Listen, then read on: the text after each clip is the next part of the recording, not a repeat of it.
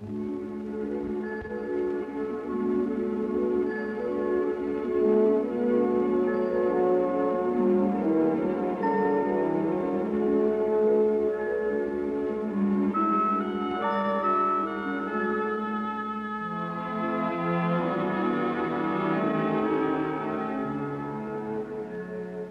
you ever heard the saying, like a fish out of water, a fish must stay in the water to stay alive?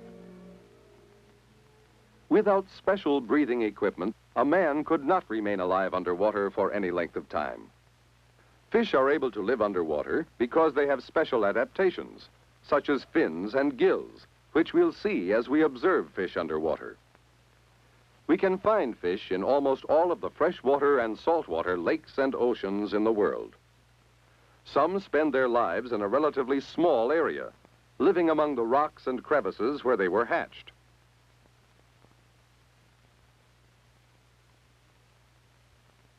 Others roam or migrate far from their birthplace and return only when it is time for them to reproduce. There are many kinds of fish. Some are quite small, while others, such as this grouper, are quite large. All fish have more or less streamlined bodies, even though they may have very different shapes. All fish have fins, which they use for balancing and guiding their streamlined bodies through the water. Fish differ greatly in their color and markings. Sometimes their markings protect fish by means of camouflage making it hard for their enemies to see them. Can you see the spotted fish at the left near the rock? This is a flounder. His coloring and his habit of beating the sand around him as he settles on the bottom make him very hard to see. Only his eye shows now.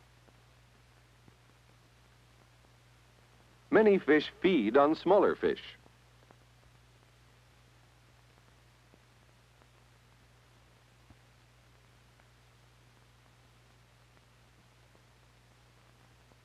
Some fish eat other kinds of animals that live in the water, such as this crab.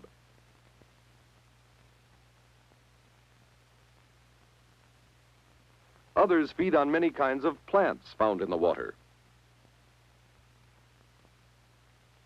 An important food for fish are the tiny forms of life called plankton. This is plankton under a microscope. Plankton is made up of microscopic plants and animals that float near the surface of the ocean.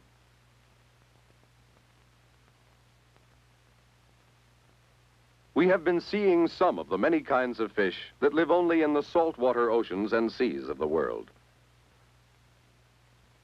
Many other kinds of fish, however, live only in freshwater streams and lakes.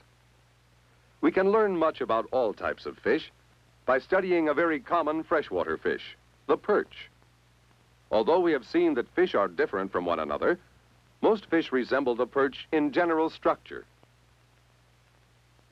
Like all true fish, the perch has a backbone. Fish have two pairs of fins, the pectoral fins and the ventral fins. Besides these, the perch has dorsal fins on the back an anal fin, and a tail fin. So an important characteristic of all fish are fins. Notice how the two pectoral fins steer the perch and help him to keep his balance. The tail and tail fin push the fish through the water.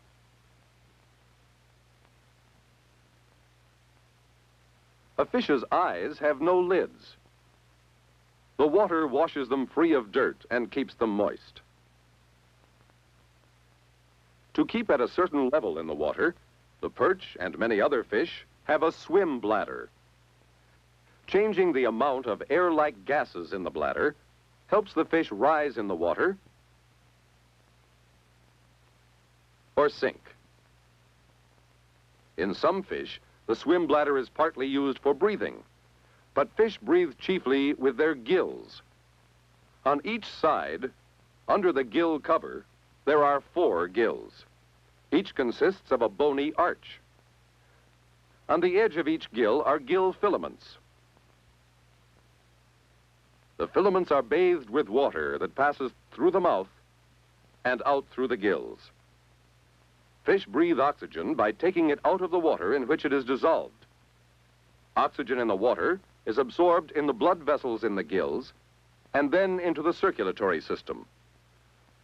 Waste carbon dioxide gas is thrown off from the gills into the water. So gills for breathing are another important characteristic of all fish. A third characteristic is scales. Most fish, including the perch, have a body covering of scales. The scales are overlapped and embedded in the skin. However, several kinds of fish, including the catfish, have a body covering of smooth skin without scales. The shark skin is covered with small spiny plates that are not true scales. The shark is not a true fish. A fourth characteristic of all fish is that they are cold-blooded. This means that the body temperature changes with the water temperature. A fish in winter becomes sluggish and inactive. It lives through the winter on the bottom below the ice that covers the cold water. In the spring, fish lay their eggs. This is called spawning. This female trout has laid her eggs in a shallow stream. After the female lays her eggs, they are fertilized by the male. The female may lay thousands of eggs at one time. Although fish lay great numbers of eggs, their enemies usually eat most of them, as well as the young after they hatch. In the case of the trout and other fish, the yolk sac, which provides food for the developing fish while in the egg, remains attached to the young. The yolk sac will soon be absorbed as the young fish grows. Most fish lay eggs. Some, like the bluegill, prepare a sort of nest and guard the eggs until they hatch. Some tropical fish, such as the Siamese fighting fish, build a bubble nest on the surface of the water, which we are seeing from below. In some fish, such as the guppy, the young develop inside the female's body and are born alive. Some fish, such as the salmon, leave the salt water of the ocean and make extraordinary trips to certain freshwater streams to lay their eggs. They swim upstream against the current to find the place where they were born. The salmon show great strength swimming against rapids and waterfalls even though they may be pushed back again and again by the current. Now that we have seen the characteristics of fish, we will be able to recognize underwater animals that are not fish, including the great group of animals without backbones called invertebrates. The crab is an invertebrate. It is not a fish because it does not have such things as fins or scales. Even though this invertebrate is called a starfish, it is not a fish. It does not have the structures that are characteristic of fish. Many of the underwater invertebrates, such as this sea anemone, provide food for the true fish we have seen.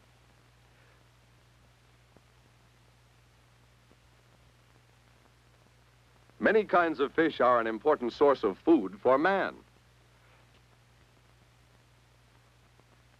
In heavily populated countries such as Japan, people depend on fish for survival. As the Earth's population increases, fish will become an even more important source of food. In some places in our country, fish have been removed faster than they could be naturally replaced.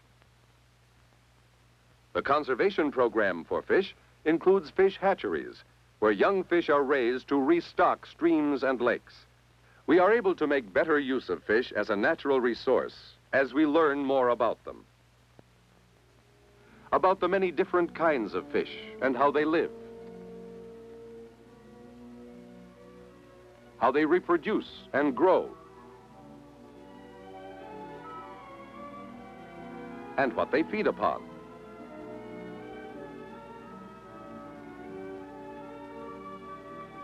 These are fish. The vertebrates that have fins, gills, scales, and are cold-blooded.